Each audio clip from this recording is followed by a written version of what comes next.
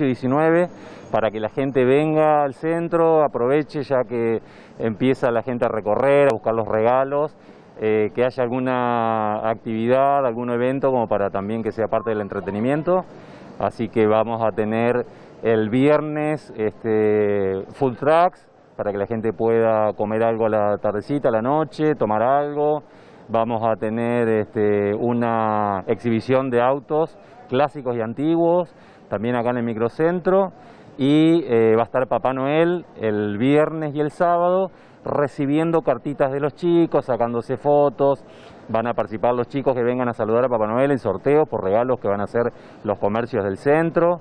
Así que bueno, muchas este, sorpresas también preparadas para la gente. Qué buenas propuestas. ¿En qué horarios van a estar abiertos, por ejemplo, los comercios? Los comercios eh, a partir de hoy ya tienen una, una nueva extensión horaria, o sea, eh, nosotros podíamos abrir hasta las 20, a partir de hoy ya se puede extender el horario hasta las 21, en realidad eh, lo único que pide el municipio es que se respete el horario de apertura que es a las 9, después cada uno lo maneja.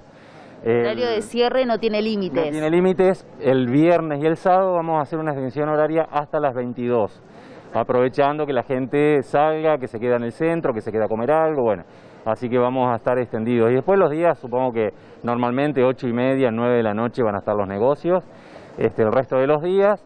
Y bueno, esto de las actividades van a empezar a partir de las 5 de la tarde, capaz Papá Noel, a partir de las 19 horas, lo que son los food trucks, este, y bueno, también el, el evento de autos antiguos también va a estar a la tarde.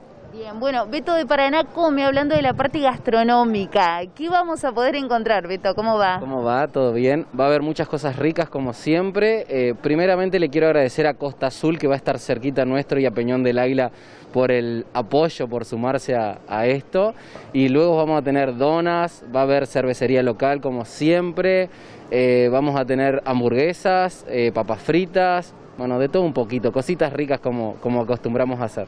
Dándole lugar también a emprendedores locales, ¿no? Sí, claro, siempre emprendedores locales. Eh, la verdad que cada día nos sorprenden más, los productos que hacen son elite, así que los invitamos a venir, va a haber mesitas, sillas.